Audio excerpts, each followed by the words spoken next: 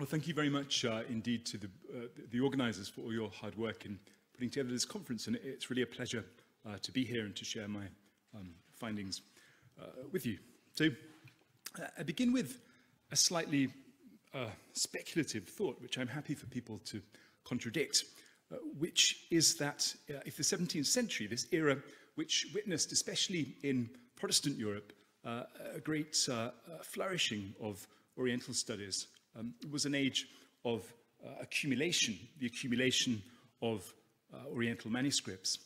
Then the task facing the century that followed was to find ways of organizing that wealth of new material so that the knowledge contained in those manuscripts could be understood, uh, appreciated, uh, shared, and put to use uh, for scholarly ends.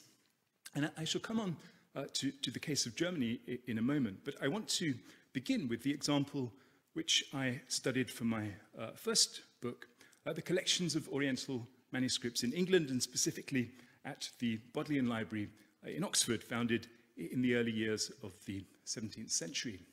Uh, and in the course of 100 years or so, up until around 1714, uh, the library acquired some of its major uh, named collections, those of the Archbishop of Canterbury and Chancellor of the University, William Laud, uh, the scholar, uh, politician and patron of learning John Selden, the Church of uh, Ireland Archbishop Narcissus Marsh, whose collection included items purchased at autumn from uh, among the manuscripts of the great uh, Dutch scholar uh, Jacobus Rhodius, as well as the personal collections of some of England's pioneer Orientalists, Edward Pocock, John Greaves, Robert Huntington, and Thomas Marshall. And the image you see here is from a collection of engravings published in the 1680s to celebrate at the University of Oxford. And this one shows the Duke Humphreys reading room in the Bodleian Library. And maybe you can just about make out on the, the cornice along the top, it's written uh, uh, the, the manuscripts in Arabic, uh, uh, Coptic, uh, Syriac, Persian, and lots of other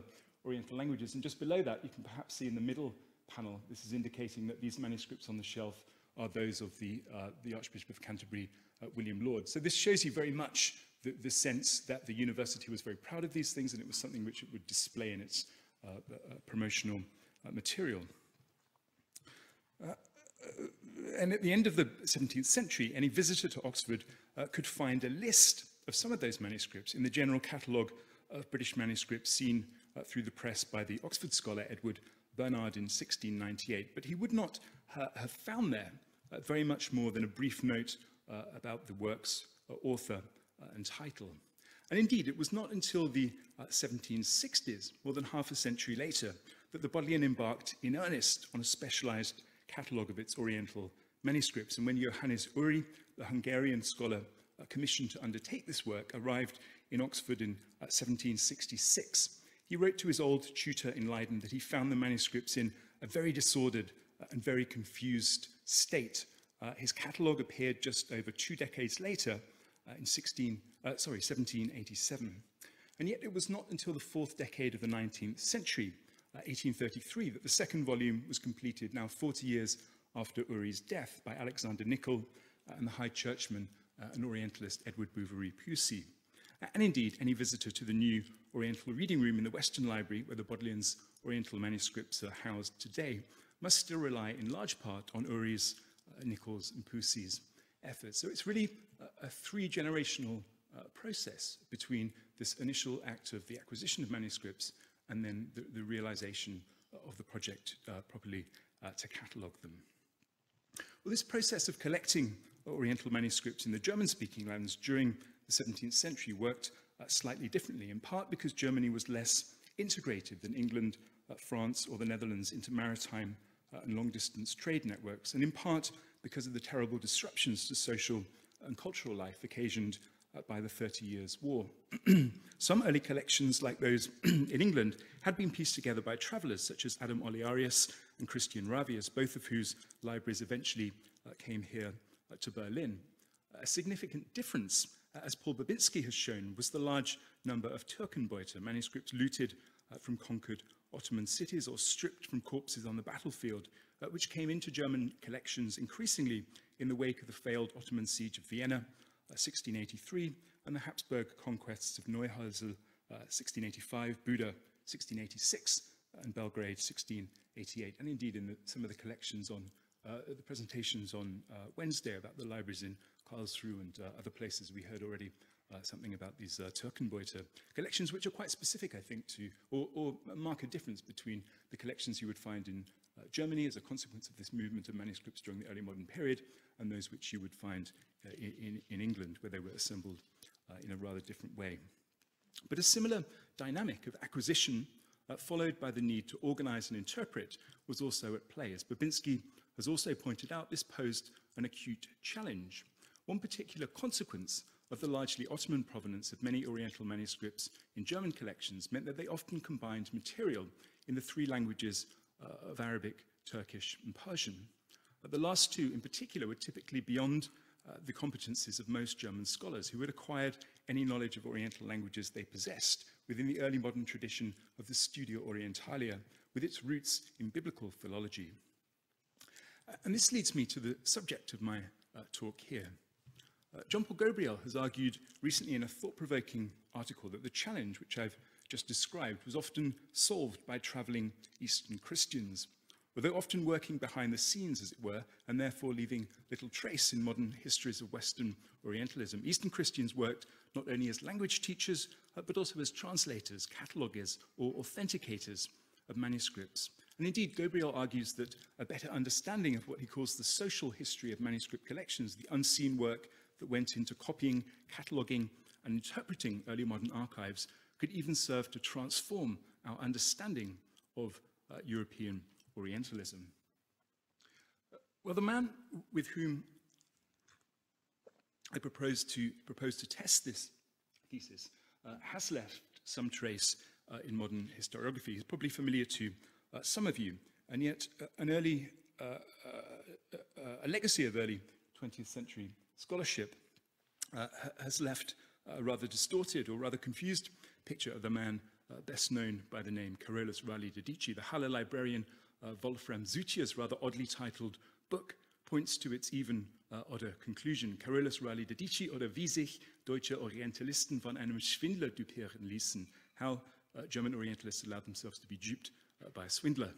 Uh, Suchier, following a short account of Dadichi's years uh, in Germany between 17 17 and 1719, argued that he was not, uh, as he claimed to be, a Syrian, but ein Schwindler, who fooled a whole series of German scholars into believing uh, his bona fide credentials as an Oriental by dazzling them with his phenomenal uh, linguistic skills.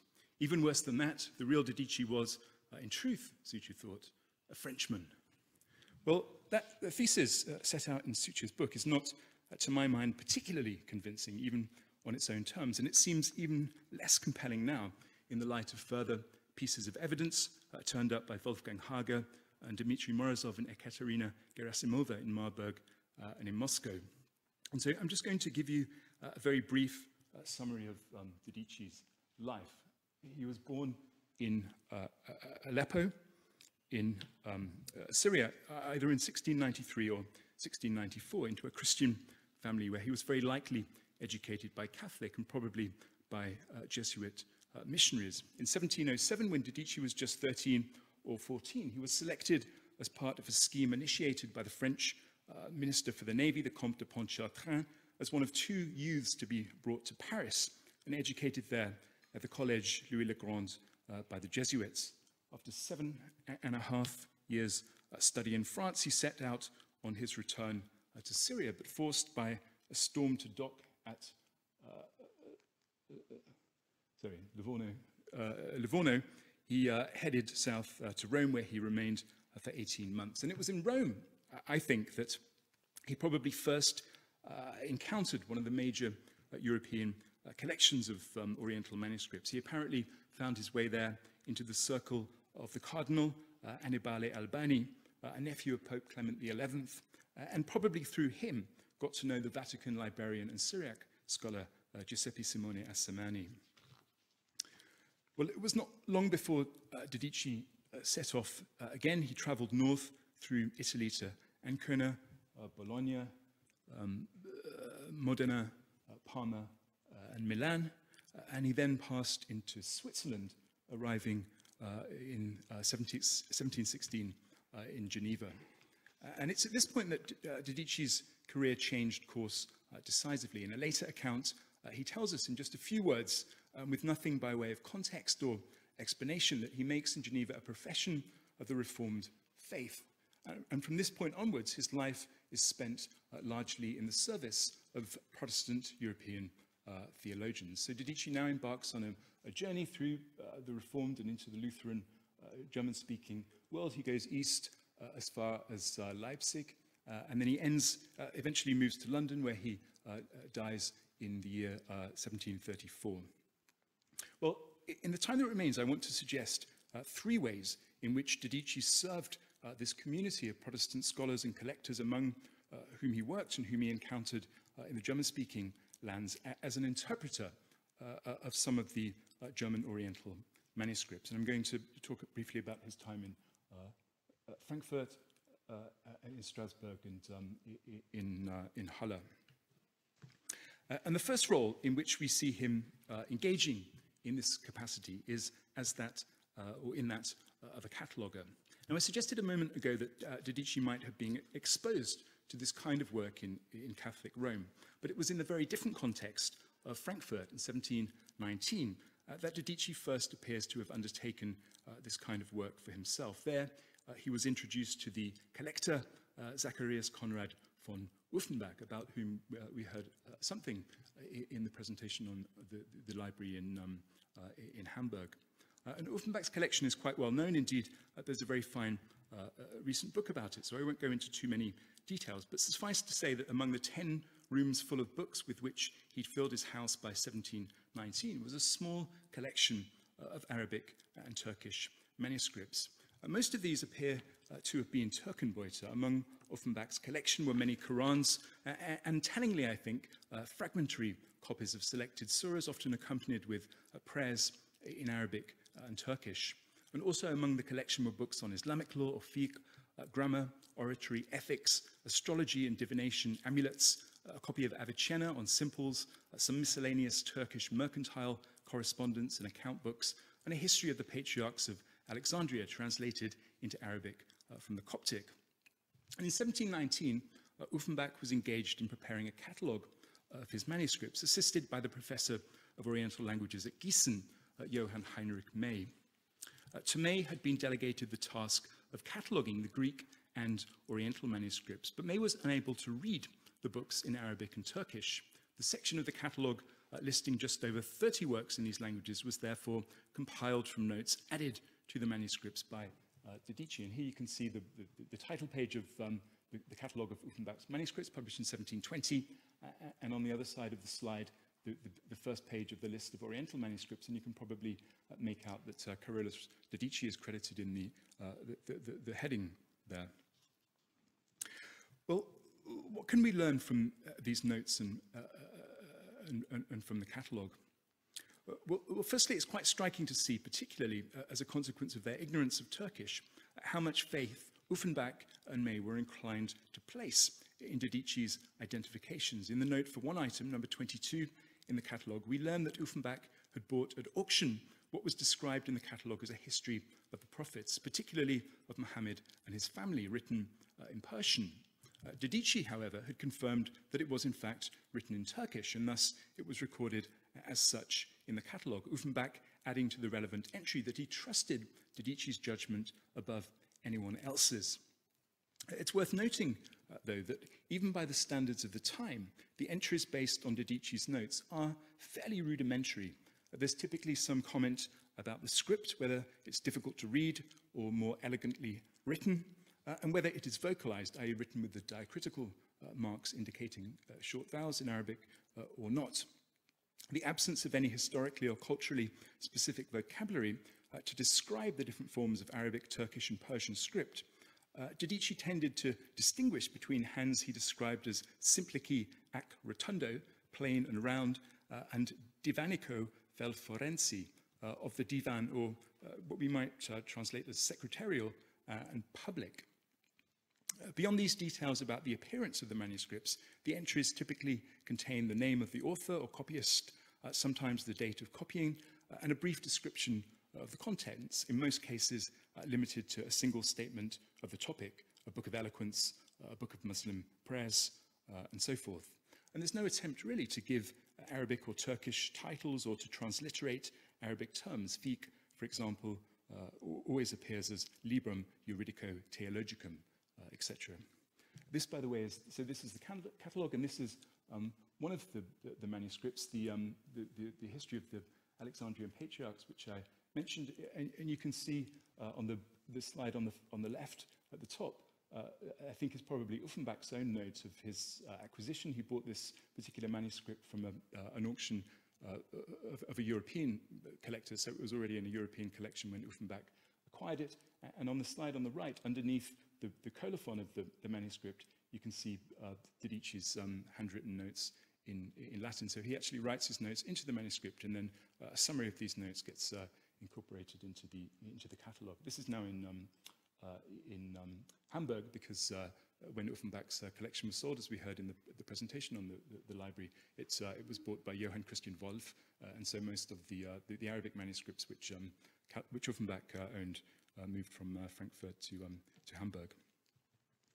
Uh, uh, nonetheless, the fact that uh, and May credited uh, Dadichi's work in the printed uh, catalogue is some indication of their appreciation of his labours uh, and the nondescript and rather sorry entry for the last, the penultimate item in the catalogue brings home, I think, just how dependent they were on his enterprise. So there we read volume 53, octavo, a most elegant Arabic manuscript, which arrived after Carolus Dadichi had left.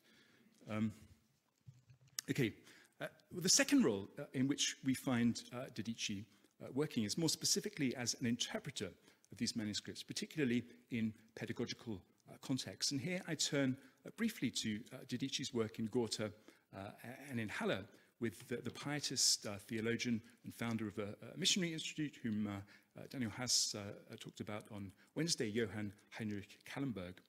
Uh, in Gotha and in Halle, uh, Dadichi and Callenberg had at their disposal a small and eclectic selection of Oriental manuscripts, a large part of which, like Uffenbach's library, had probably originated uh, in collections of Türkenbeute.